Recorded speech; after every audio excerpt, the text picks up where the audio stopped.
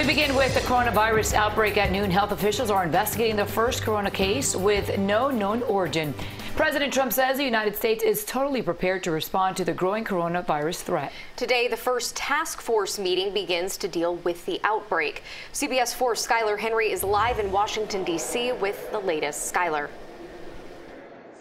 Hey, Carly and Maribel, good afternoon to you. Yeah, Vice President Mike Pence is leading that meeting that's scheduled to start this afternoon, and he's already starting to make some progress, naming Ambassador uh, Debbie Birx as the head of the White House Coronavirus uh, Response Coordination Team. And so he's already getting his team together in place. But this comes as health officials try to investigate that case out in California and determine where it came from.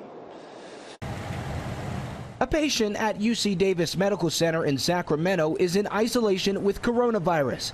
The CDC says it may be the first case of community transmission in the United States, meaning the patient was probably infected by someone in the general population. The person who exposed them probably exposed others, so there's probably other cases out there in the community that we don't know about. This is the 15th case to originate in the U.S. The other 14 cases involved either people who had traveled to China or who had close contact with an infected patient. Concerns over the coronavirus continue to rattle markets. The Dow Jones continued its slide Thursday. We're on track to have the worst week for stocks since the financial crisis. It's been sort of unrelenting selling starting with Monday morning. President Trump tried to reassure Americans and jittery investors. Whatever happens, we're totally prepared. But Mr. Trump seemed to contradict his own health officials about the future trajectory of the virus. We do expect more cases. There's a chance it could get fairly substantially worse, but uh, nothing's inevitable.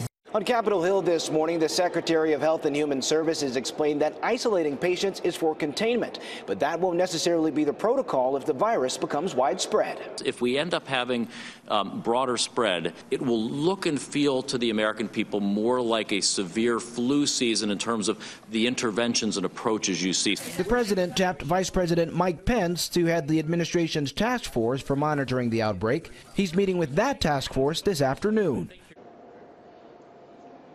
So there are 45 cases of the coronavirus here in the U.S., both from evacuees who have escaped uh, Wuhan, China, and also from that Diamond Princess cruise ship uh, from Japan as well. So, of course, we're going to continue to monitor what comes from that meeting with Vice President Pence later on today.